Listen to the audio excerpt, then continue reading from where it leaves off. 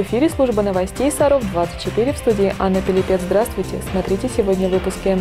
«Сердце отдаю детям». Педагог Дворца детского творчества победила на региональном этапе конкурса среди работников сферы дополнительного образования. Мимо кассы участились случаи кражи в магазинах города. Библию НИИ в Пушкинке в детской библиотеке стартует летний сезон. Далее расскажем обо всем подробно. Владимир Путин предложил продлить льготную ипотеку до 1 июля 2022 года. Президент дал соответствующее поручение правительству, выступая на пленарном заседании Петербургского международного экономического форума. При этом ставку поднимут до 7%, а предельная сумма кредита будет единая для всех регионов – 3 миллиона рублей. Кроме того, семейную льготную ипотеку по ставке 6% теперь будут предоставлять и семьям с одним ребенком, если он родился после 1 января 2018 года.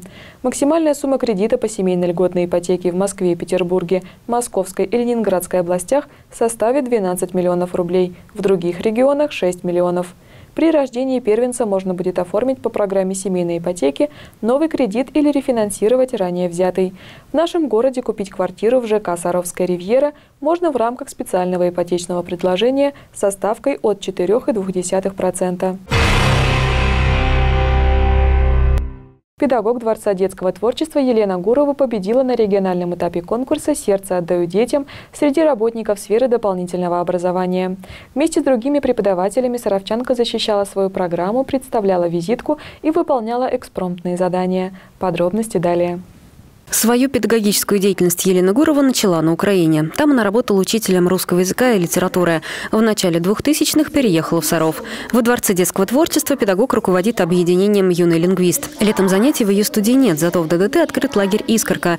Елена – вожатая старшего отряда и в свободные минутки в игровой форме рассказывает ребятам о правилах русского языка, простыми словами объясняя сложные вещи. Практически то же самое она делает и в течение учебного года. С помощью своей авторской программы Елена Анатольевна помогает ученикам старших классов закрепить полученные в школе школе знаний подготовиться к итоговой аттестации. Я обычно приглашаю восьмиклассников, потому что они уже всю орфографию прошли, с ними можно закреплять, обобщать и ликвидировать пробелы, которые по каким-то причинам у них образовались. Свою программу Елена представила на ежегодном всероссийском конкурсе «Сердце отдаю детям» среди работников сферы дополнительного образования.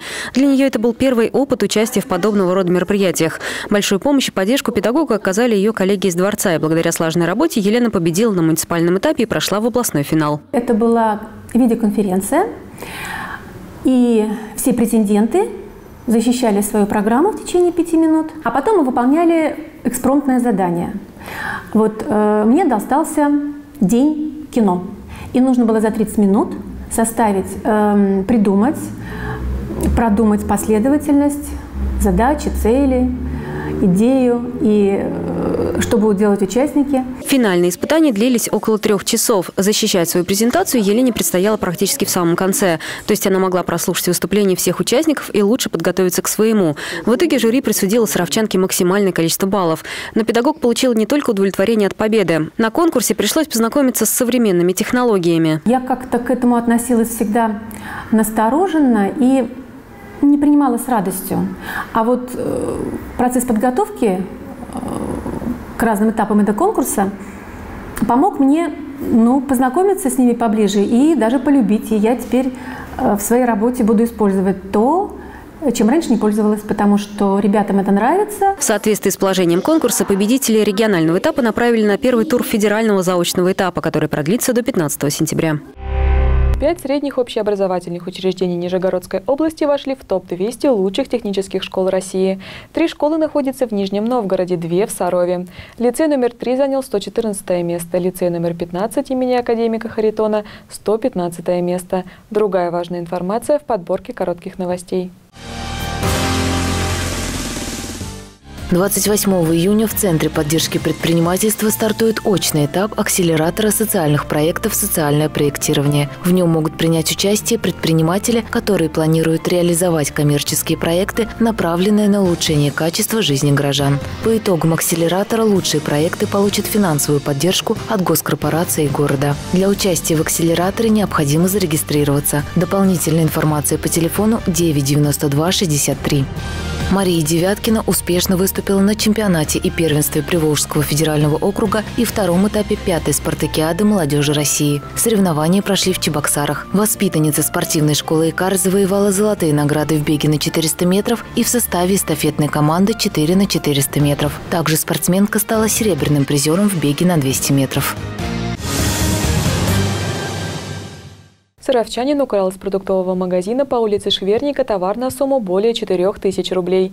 Злоумышленника опознали с помощью камер видеонаблюдения. Ранее его судили за аналогичные преступления. Чем еще запомнилась минувшая неделя сотрудникам правопорядка, расскажем в следующем репортаже. Дачный участок Саровчанина снова попал в поле зрения преступников. У мужчины украли садовую технику, которую сотрудники правопорядка в ходе расследования нашли и вернули владельцу. Но удача отвернулся от садовода, и в майские выходные с его участка пропали строй материалы на 15 тысяч рублей. Неизвестное лицо проникло на территорию земельного участка садоводческого общества «Красная, Красная звезда», откуда умышленно похитила бак из нержавеющей стали стоимостью 2000 рублей, 6 листов профнастила а, стоимостью 5600 5600 рублей и иное имущество то есть общую, на общую сумму около 15 тысяч рублей. Четыре сообщения о краже поступило от директора магазина цифровой и бытовой техники по улице Московской. Неизвестные воспользовались невнимательностью сотрудников магазина и украли три музыкальные колонки и веб-камеру. Пропажу обнаружили в результате инвентаризации. Неизвестными лицами в разный промежуток времени 20 апреля, 25 апреля, 12 мая и 16 мая было похищено три портативные колонки разной ценовой категории от 3 до 14 тысяч рублей и веб-камера. То есть всего имущество было похищено на 28 тысяч рублей. Для сотрудников ДПС прошедшая неделя прошла спокойно. В выходные на дорогах организовали дополнительные патрули для выявления нетрезвых водителей. По словам начальника ГИБДД, операция прошла успешно. 150 тысяч рублей на техническое оснащение студии и приобретение звукового оборудования. Мультстудия «Кадрики» выиграла грант в конкурсе культурных digital-продуктов «Атом Like». Жюри присудило проекту «Кадрик ТВ» второе место в номинации «Концепция или сценарий культурного digital-продукта». Подробности в следующем репортаже. Но кто его поздравит? Не встречишь смельчака. Разбудишь ли живого? А вдруг намнет бока? Это добрый мультик о том, как медведь проспал Новый год. Основан на стихотворении Андрея Костакова «Медвежий сон». Над сценарием работали юные воспитанники мультстудии. Ребята также вырезали и раскрашивали декорации. Мы двигаем игрушки, разрисованные из картона, и нажимаем кадр. И фотоаппарат фотографирует. Получается мультик. Проделанный кропотливый труд по достоинству оценила жюри международного детско-юношеского конкурса «Свет миру дети». Воспитанникам мультстудии присудили второе место. На этом достижения ребят не заканчиваются. По традиции мы снимаем мультфильм про народные промыслы и заодно знакомимся с ними. Юные режиссеры, сценаристы, мультипликаторы, художники, теледикторы и актеры мультстудии «Кадрики» покорили новые высоты.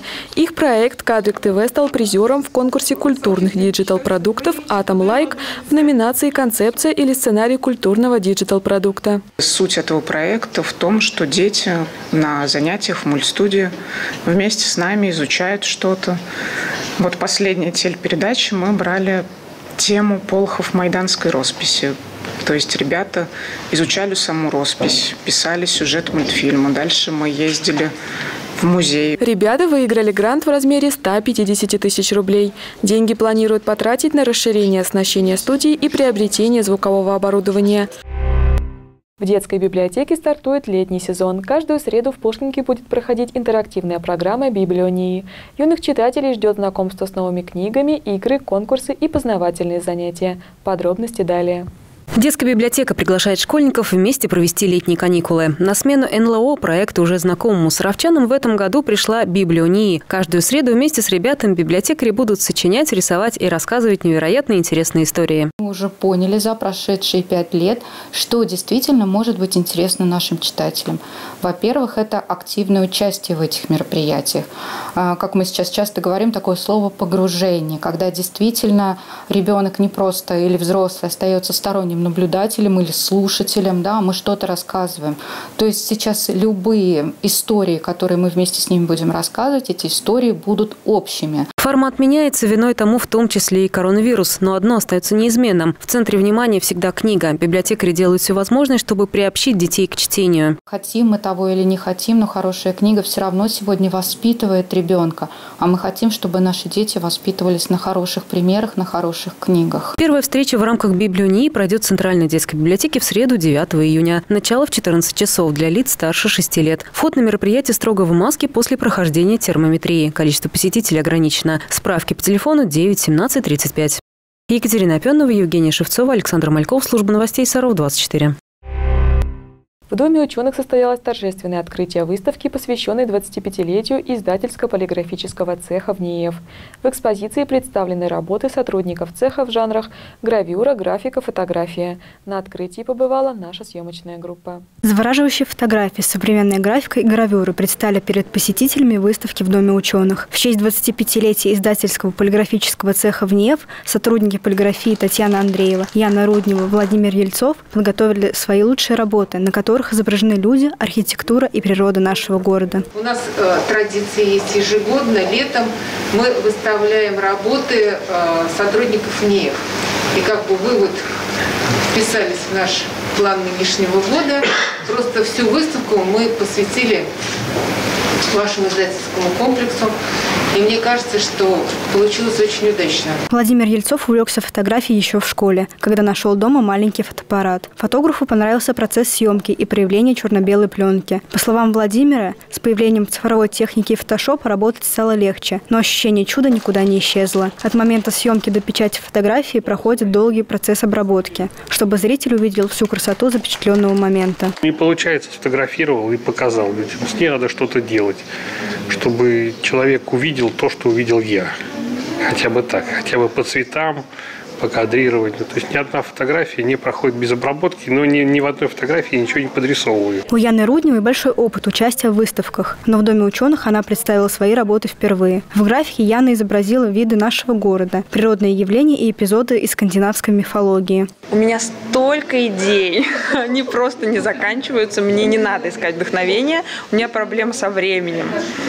Я, у меня мало времени на то, чтобы реализовывать свои идеи и проекты. А вдохновение, оно вокруг, везде, в людях, и я очень люблю природу. Думаю, по моим работам это видно. Горожане смогут посетить выставку до 19 июня без возрастных ограничений. Футбольный клуб «Саров» провел очередной домашний матч в рамках первенства Нижегородской области по футболу среди мужских команд первой лиги.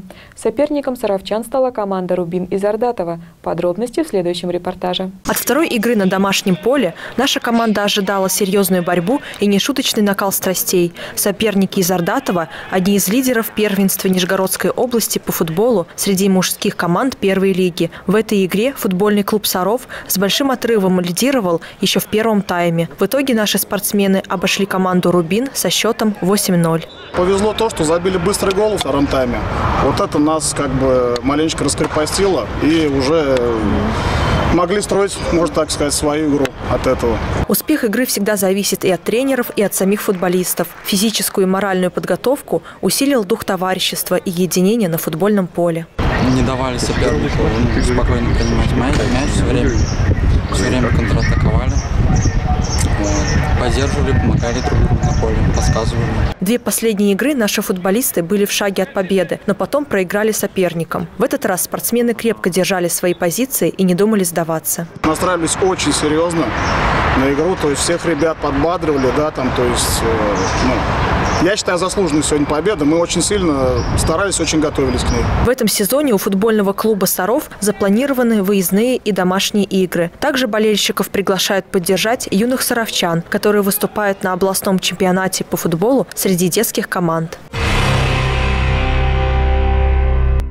И это все, о чем мы успели рассказать сегодня. Следите за новостями города в группах канала 16, в социальных сетях ВКонтакте, Фейсбук и Одноклассники. Подписывайтесь на наш канал в YouTube и смотрите все информационные выпуски и авторские программы в удобное для вас время. В студии работала Анна Пелепец. Всего вам доброго и хороших вам новостей.